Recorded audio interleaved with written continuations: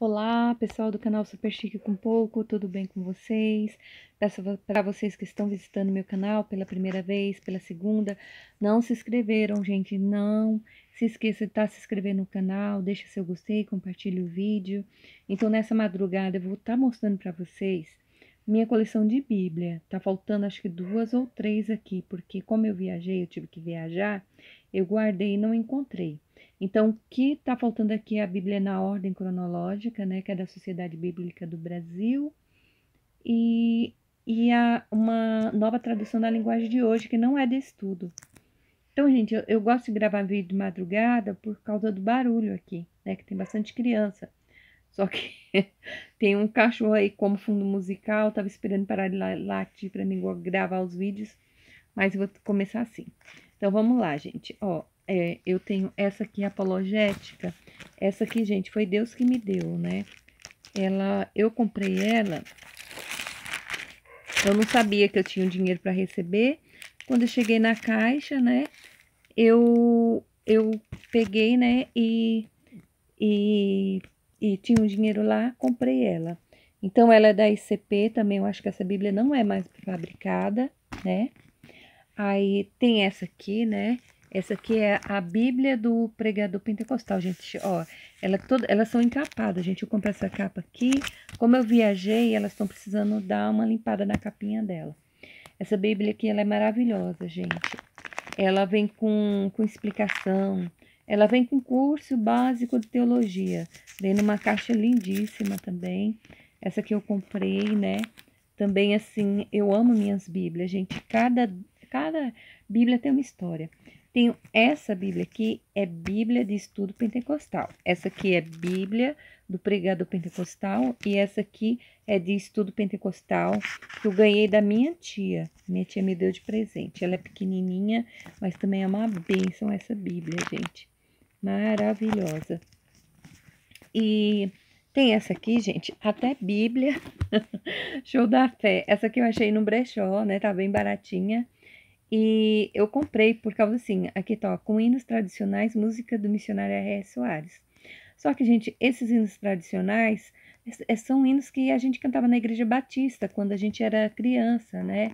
São hinos antigos, né? Que ele colocou aqui no final da Bíblia, né? Mas olha a versão dela. Eu gostei por isso. Ela é edição revista e corrigida, né? Traduzida é, em português por João Ferreira de Almeida, né? Então é uma, uma linguagem usual. Então eu, o que eu gostei dela, né? Comprei no brechó, é, é, é os hinos, né? Tem os hinos assim, ó. É firme nas promessas do meu Salvador, cantarei louvores ao meu Redentor. Então é hinos que a gente cantava quando era criança, né? Então gostei muito dessa Bíblia por causa do inário dela. Agora, as minhas preferidas, essa aqui é a Bíblia Sagrada, né? Essa aqui é a, a, a edição de promessas letra hiper gigante. Deixa eu mostrar. Essa aqui eu já mostrei no vídeo para vocês, né? Olha, é Bíblia Sagrada, Sagrada é, versão revista e corrigida na é, grafia simplificada da tradução de João Ferreira de Almeida. Então, essa aqui. Essa Bíblia aqui que eu uso, né, para ir a igreja, só que hoje em dia na igreja já está usando a NVI. E a outra também que eu amo, essa Bíblia aqui, que ela é um dicionário. Ela já vem tudo explicado as palavras. Então, se você. É, nas outras que tá côvados, aqui já tá metro, que tá dracmas, aqui já tá moedas, entendeu? Então já tá explicada. Então, essa aqui eu uso dentro de casa. E tem essa aqui que eu ganhei da minha amiga, que é a Bíblia hebraica, gente. É maravilhosa. A Bíblia hebraica, olha, ela começa em Gênesis e vai até Crônicas, né? Então ela é um pouco diferente, né? Tem Torá, profetas, escritos. Então ela é Bíblia dos judeus mesmo, né? Hoje em dia, né? A pessoa da religião judaica. Tenho ela aqui para estudo. E outra também que eu tinha, né? Aí eu dei para minha sobrinha. é Bíblia de Estudo da Mulher da editora Aço também, que não tá mais fabricando, gente, essa Bíblia, né? Essa aqui eu não sei o que aconteceu. Aí minha mãe pegou e me deu. Minha mãe falou assim: tá jogada lá, toma. Aí pegou a Bíblia, era minha, eu dei pra minha sobrinha. Aí a minha sobrinha veio para São Paulo. A minha mãe foi fazer uma limpeza lá, achou e me deu. E eu tava doida, gente, para conseguir uma Bíblia, né? Dessa doida, não pode falar essa palavra não que é pecado, né? Mas eu tava assim ansiosa por conseguir uma Bíblia dessa. Aí quando cheguei lá, né, minha mãe pegou e me deu essa Bíblia aqui, falou: "Toma, tava jogada, pode pegar". Eu não sei se o cachorro pegou e comeu, como que foi a história e ficou lá, né? Então, e essa, então são essas minhas Bíblias, gente. São essa aqui, né? É, Bíblia Estuda Nova, Tradução da Linguagem de hoje, que eu mais uso.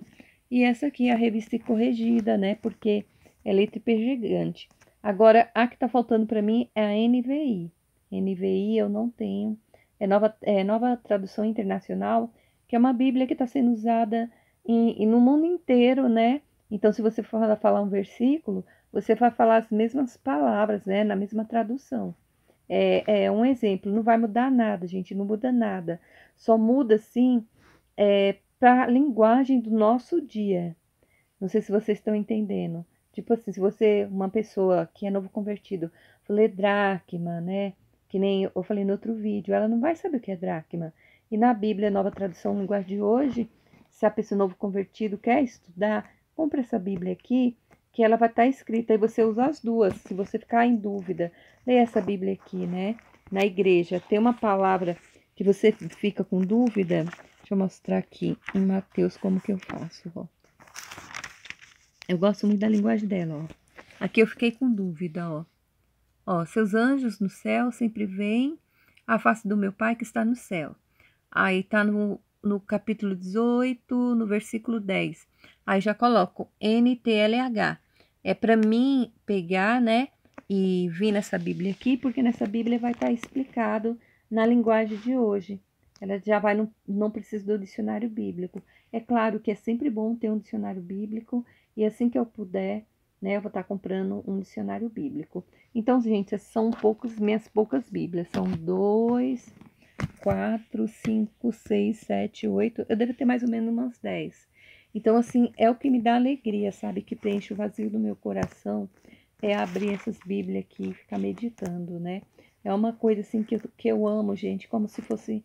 É, porque a palavra de Deus é o próprio Deus. Quando você abre a Bíblia, que você vê, assim, Salmos de Davi, e não é Davi, é o Espírito Santo de Deus, é o próprio Deus falando com você, né? Por isso que a Bíblia, é, a Bíblia é chamada sagrada. Quando você abre, abre aqui, né?